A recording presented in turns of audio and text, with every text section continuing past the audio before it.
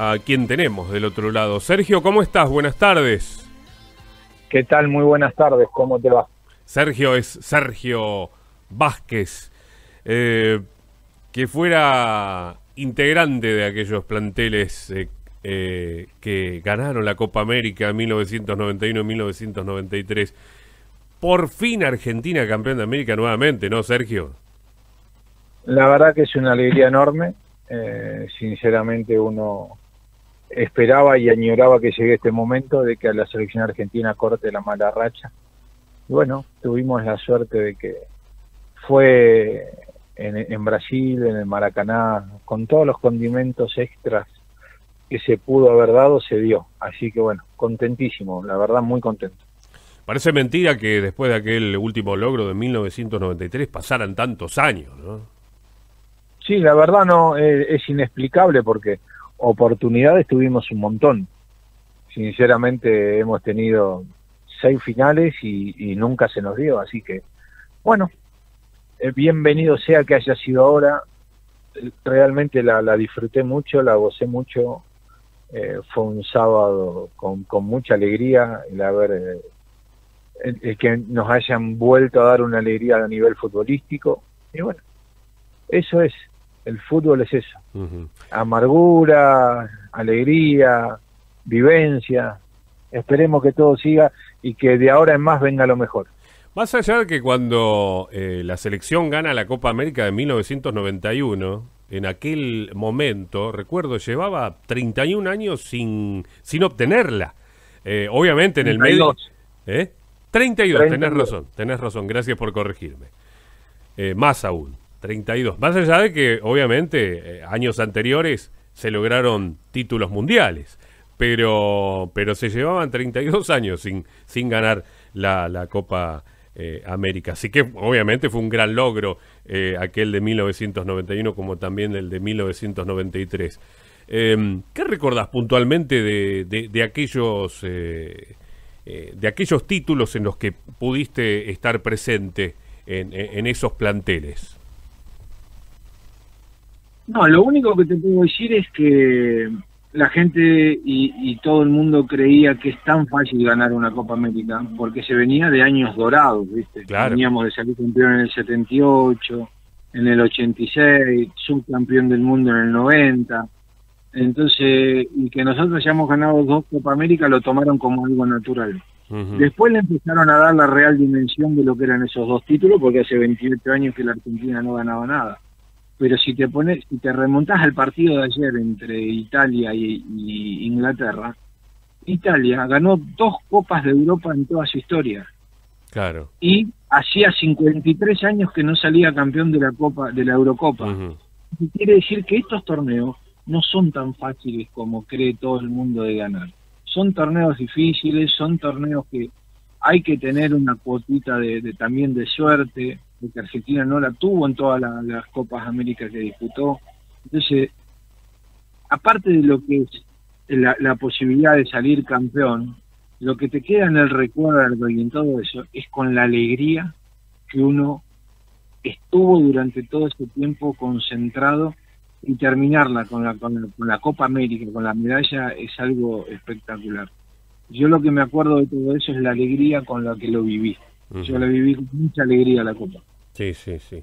Tengo entendido que en el 91 jugaste eh, tres partidos y dos en el 93, ¿no? No, al contrario. No, no, en el 91 lo jugué todos menos el partido que... Ah. Jugaron todos los pibes que no venían jugando. Fue contra Perú, después que ya estábamos clasificados. Eh, eso fue lo que no, no jugué. Está bien. el único partido que no jugué en la Copa América del 91. Y después en la Copa América del 93 creo que jugué los tres primeros partidos y yo ya venía arrastrando una pubialgia muy fuerte y fue ahí que tuve que parar porque realmente ya no me podía levantar de la cama. Exacto, exacto. Bueno, volviendo a esta, esta consagración de, de, de, este plantel, eh, ¿Qué fue lo que más te, gustó en lo global, en todos los partidos? ¿Qué fue lo que te sorprendió de pronto de, del equipo? No, sorprender no me sorprendió nada.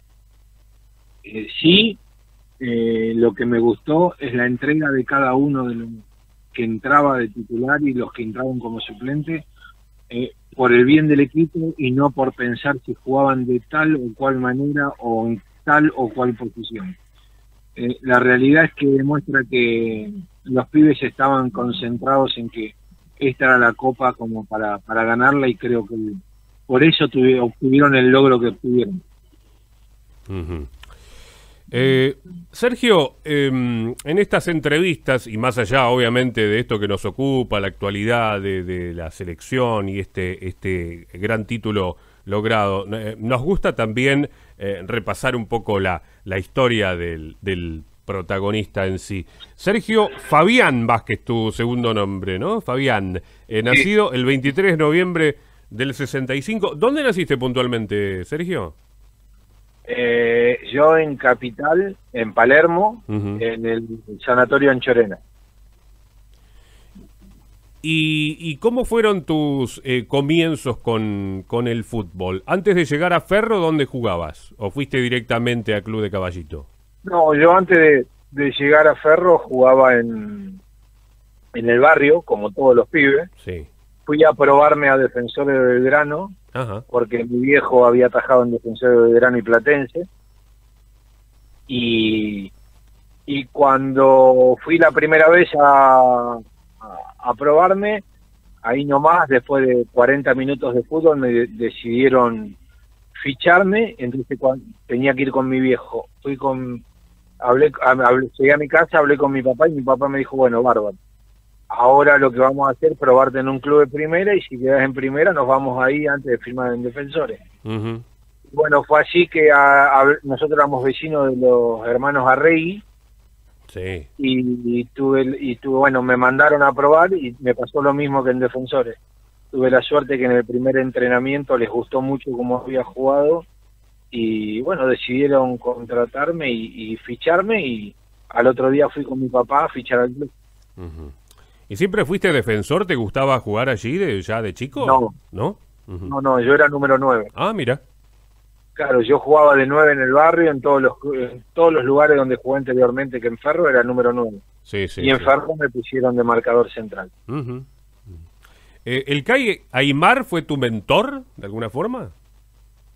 Sí, siempre lo digo. El CAI Aymar para mí fue la persona que me enseñó todos los artilugios de ser marcador central. Me enseñó muchísimas cosas, me dejó la vivencia de lo que era jugar en, un equipo ordenado, de cuándo tenía que arriesgar y cuándo la tenía que revolear. Y eso es lo que todo técnico requiere, ¿no? Que, el jugador que sepa jugar, pero al mismo tiempo que cada vez que la tenga que revolear no duden en hacerlo. Bueno, y en, en, Ferro estás hasta el año 91, si no me equivoco, y después vas a Racing. Claro, en el 92 me voy a Racing. ¿Quién te lleva puntualmente a la academia? No, ahí me compra, en el 91 me compra Setimio Aloisio, que era mi representante, compra el PAS, me lleva a Racing y de Racing me lleva a Rosario Central. Que justo yo estaba por firmar en River, pero yo le había dado la palabra al técnico que agarró en Central y, ahí me fui con ellos. Y después de ahí me fui a la Universidad Católica. Claro, claro. Y tuviste, bueno, eh, ahí en la, en la U Católica un paso muy exitoso, ¿no?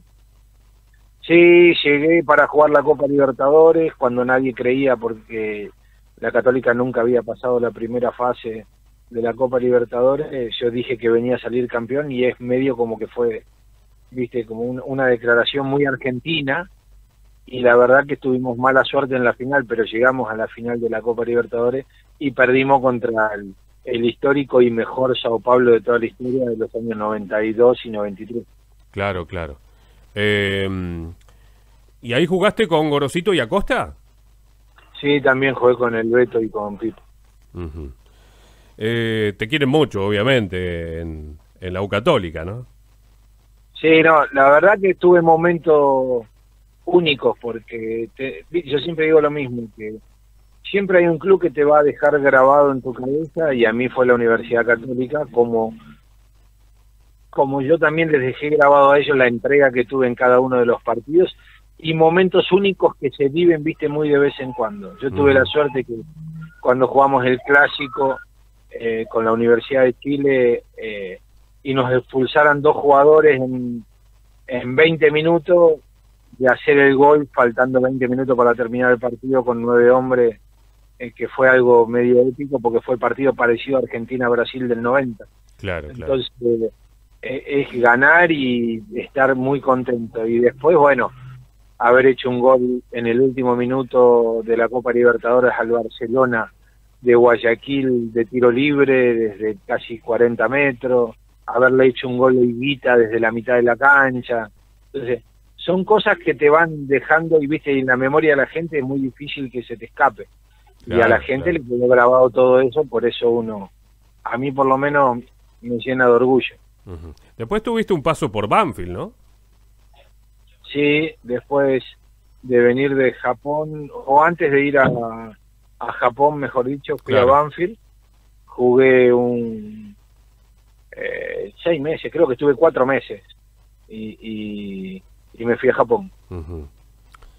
¿Y cómo fue esa experiencia en, en Japón? Muy buena, la verdad, muy reconfortante y muy linda para, para mí y para toda mi familia. E, e, ese, ese fue, eso fue lo último, digamos. ¿Te retiraste allá? Mejor dicho, no me retiré allá. Yo tenía cuatro años de contrato y había hablado con mi señora y, lo, y, habíamos arreglado en que ya no aguantaban más, los pibes ya eran grandes, entonces ya queríamos volver, ellos querían volver, yo tenía que terminar el contrato, pero lo que hice fue ir y hablar con los dirigentes en el año 98, hablarles de frente y decirles la verdad, que era lo que me pasaba, eh, que no es que quería abandonar el, el club por, por algo, por un antojo, porque quería venirme a jugar a Buenos Aires.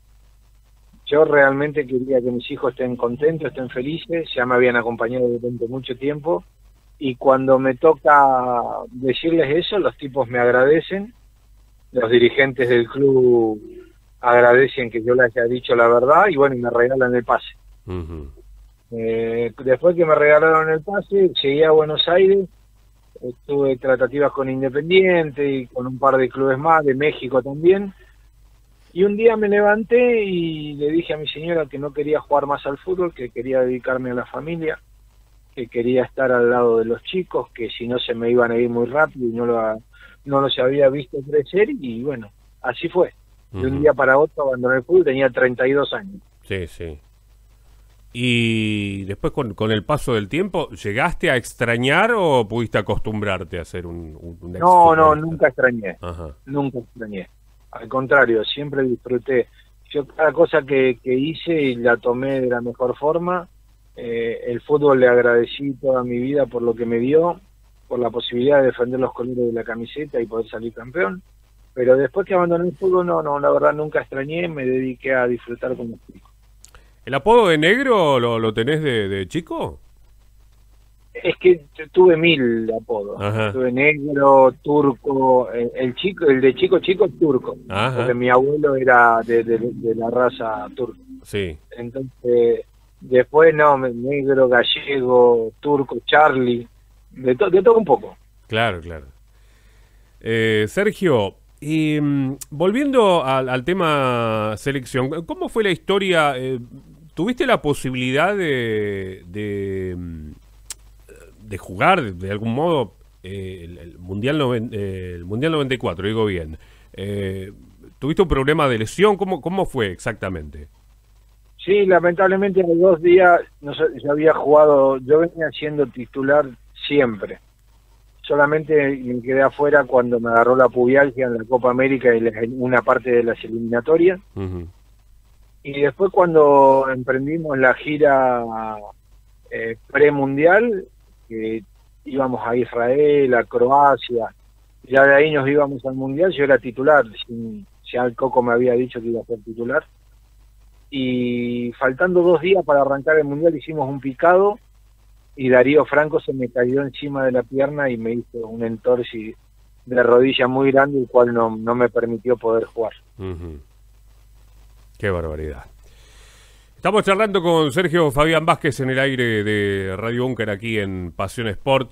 Eh, Sergio, bueno, ya en los minutos finales de, esta charla y agradeciéndote obviamente por estar ahí del otro lado. ¿Cómo, cómo ves el fútbol argentino eh, actual si tenemos que compararlo con aquel en el que vos eh, estabas en los campos de juego? Pasa que son dos fútbol distintos. Antes era, tenías, vos tenías jugadores en el medio que, que llevaban mucho la pelota. Hoy el, hoy el día es más pase de transición, eh, se quedan muy poco con la pelota y, tocan mucho más rápido y se desprenden más rápido. Anteriormente no, anteriormente los jugadores les gustaba tener la pelota, les gustaba manejarla. Entonces son dos fútbol distintos, antes un poco más lento, mucho más lento que el de ahora y el de ahora es mucho más vivaz, mucho más enérgico. Entonces el fútbol es así, el fútbol te da esas cosas, viste que en un momento tenés la, posibilidad de disfrutarlo y en otro momento de sufrirlo.